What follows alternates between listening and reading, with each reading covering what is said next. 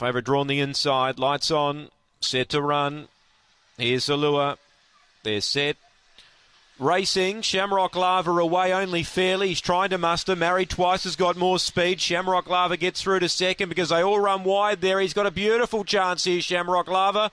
He railed up and took the lead. Married twice second, coming through Psychotic Sky. A gap then to You Rascal Girl. Uh, Peregrine Fly to Mr. Spock, but out in front, Shamrock Lava led by a length. There's only one danger, Psychotic Sky coming to the outside. Shamrock Lava a length and a quarter. Psychotic Sky's trying to get in, but in front was Shamrock Rock Lava, and some good wages landed. Psychotic Sky second, Married Twice third, Photo fourth, Peregrine Flight or You Rascal Girl, and Mr. Spock was last in, and that winner was gifted the race on the first bend. 30 and 19 the time.